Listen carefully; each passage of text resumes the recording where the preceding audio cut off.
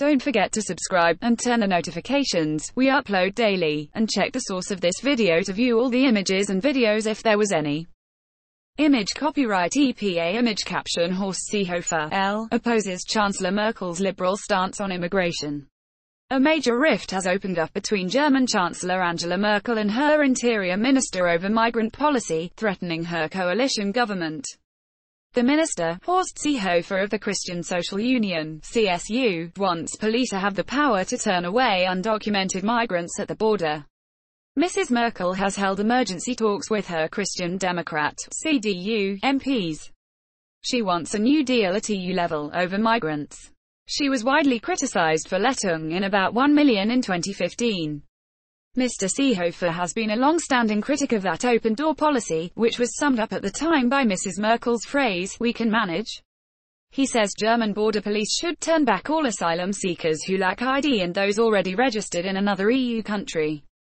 Mrs. Merkel sees that as a go-it-alone policy which would further hurt Italy and Greece, countries whose capacity to house migrants is stretched to breaking point. Among them are many refugees from the Syria war and other conflict zones. Fragility of Merkel coalition exposed. BBC Berlin correspondent Jenny Hill writes, Angela Merkel has a mutiny on her hands. Horst Seehofer, who is in all likelihood grandstanding ahead of regional elections in Bavaria, appears to have, in the words of one commentator, got Mrs. Merkel's back against the wall. Among her own CDU MPs, though, the mood seems to be largely supportive but she's still under pressure from her own party to strengthen migration policy and they'll expect her to find her long-promised coordinated EU solution.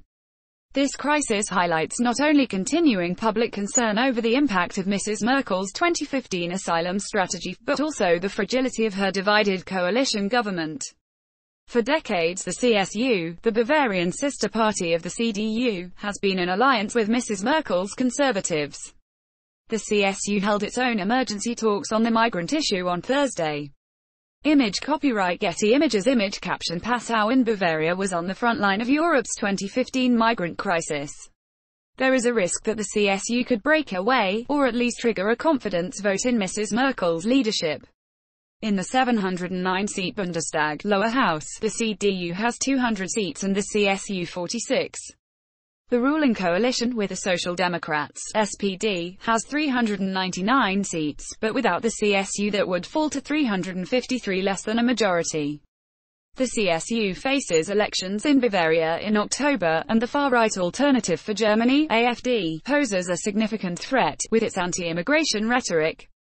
Since the 2015-2016 crisis the number of undocumented migrants entering the EU has fallen sharply, largely because of an EU deal with Turkey and new border fences in the Balkans. On Wednesday Austria's right-wing Chancellor, Sebastian Kurz, said after talks with Mr. Seehofer that the interior ministers of Austria, Germany and Italy had formed an axis of the willing to combat illegal immigration.